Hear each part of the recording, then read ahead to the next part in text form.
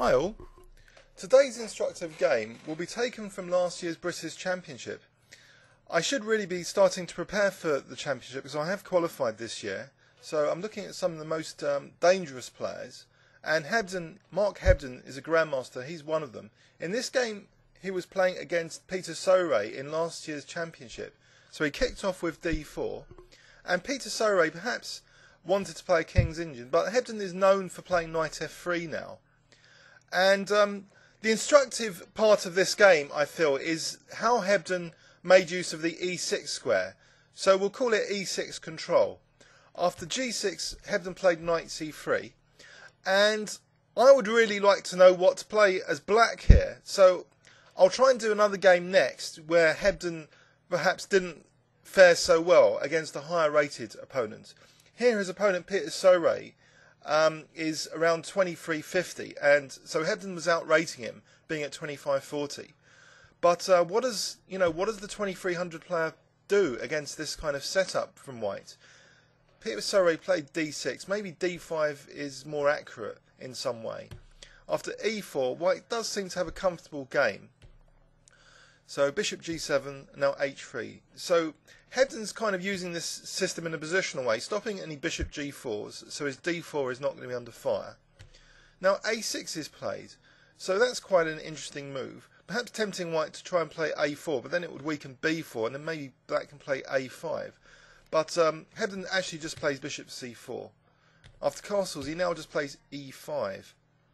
So let's have a look at taking on e5 here. Now queen takes d1, king takes d1, rook d8, king e1. Is white better here? Knight e8. White might be slightly better. It's not that great for black. Um, but it might be playable. So in the game actually, the knight retreated and Rybka actually gives a big advantage now. Well, much bigger advantage than that line. Um, 0.60 to white. So white's got a comfortable position it seems queen e2, and that's quite a dangerous form pawn. Now, well, advanced pawn in the opponent's territory. And in fact, the only way Sowray sort of got rid of it after this bishop g5 uh, and bishop f5, Hebden castled. Um, but Sowray was preparing f6. The problem with f6 is the e6 square, as we're about to see. So f6 now, Hebden took and retreated the bishop right back to c1. So that e6 square is slightly weakened because of that f6 move. And we're going to see now, now after knight a5, the bishop actually goes to e6. So Hebden doesn't mind even swapping off um, the bishops there. And now he just probes that e6 square. After knight g5, he's threatening things like knight f7. So black tries to defend with queen f6. Now rook e1. And now we see Hebden's maintaining that control of the e6 square. And White's advantage has actually gradually um, increased over the last few moves. After this knight f6, Hebden doesn't mind simplifying because now, after these simplifications, two rooks against knight, he's got a big clear advantage. After f4, he now kicks that knight and now c4. He's got this lovely occupation of e6. So he just grew that small advantage and now he translates this advantage into invading with his rooks. So um, first exchanging off a pair of rooks, so even more simplified. But his advantage is nagging here after rook e7, rook e6 now. So these this pawn is under fire. So black protected that. But now rook e8 again. Now knight c, c5 was played, so why not rook f8 here? If rook f8, rook e7, winning the knight now. So it's uh, changed considerably. There's no rook f7 defence. So that's the subtle difference. So white's blasting through now with this rook e8. There's, there's hardly any um, defence against this.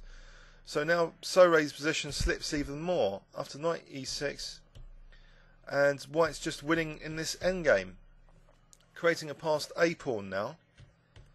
And it's all over. Basically this looks like just a technique now. Hebden's just um, a clear pawn up a very strong d pawn up. And he just guides that d pawn now. And after this move it, black has no defense. Um, just that, that pawn is winning more material. So if rook takes d7, rook c6. If rook takes e6, then um, rook takes c6. So this looks um, busted. Let's have a look in overview and summary at this uh, British Championship game from last year. So um, Peter Sowray probably didn't play the most aggressive system against this Hebden system. White guided a, a small advantage here and increased it. So the, the chance here was after e5, perhaps d takes was the best according to Rybka. So d takes, queen takes d1, king takes d1 is recommended here, rook d8, king e2, knight e8. So is this really so bad for black, this position? Say knight c6 here, 81, bishop f5. Actually, Rybka gives still a slight advantage for white.